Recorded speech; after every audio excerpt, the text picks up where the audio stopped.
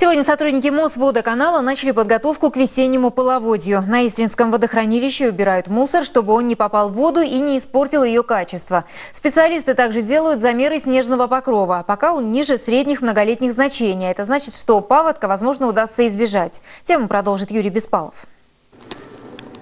Генеральная уборка в водохранилище, говорят работники Мосводоканала, необходима. За зиму тут скопились горы мусора, которые являются угрозой для экологической безопасности. Бутылки, что поели, всякие пакеты, газеты, бумага. Том, что водоем может превратиться в загрязненную зону, специалисты винят рыбаков. Они оставляют тут не только обертки и бутылки. Были случаи, когда забывали буры и даже палатки. Сами любители рыбной ловли не скрывают, что устроили тут настоящую свалку. Однако исправляться пока не спешат. Тоже оставляет.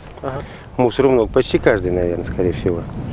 Кто вот кормит, везде на лунках у всех газеты лежат и мешки. Благодаря морозной погоде лед на водоеме не становится тоньше, что облегчает работу уборщиков. Они могут использовать снегоходы, чтобы доехать от одного берега до другого. За час сотрудник Мосводоканала собирает вот такой пакет мусора, а за смену получается целый грузовик. Если бы уборки не было, то на льду скопились бы тонны отходов, а во время оттепели все это ушло бы на дно водохранилища. Водоем является источником для водоснабжения большей части Москвы. И работники предприятия обещают приложить максимальные усилия, чтобы качество воды не ухудшилось. Все, что останется на льду, все это естественным образом потом, э, так сказать, уйдет в воду, ляжет на дно, начнет гнить. Процесс гниения – это, так сказать, э, процессы э, разложения органики и так далее ухудшают качество воды органолептические свойства воды. Поэтому, э, чтобы этого избежать, мы и занимаемся этой работой. Параллельно идет работа и по подготовке к половодью. Инженеры-гидрологи, вооруженные специальными инструментами, замеряют высоту снежного покрова.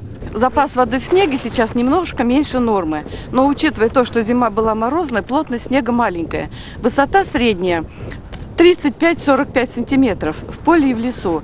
Специалисты говорят, что осадков в этом году выпало мало, и по их расчетам вероятность выхода рек из берегов и затопления деревень незначительна. Юрий Беспалов, Михаил Балухин, Александр Хоботов. Программа «Город».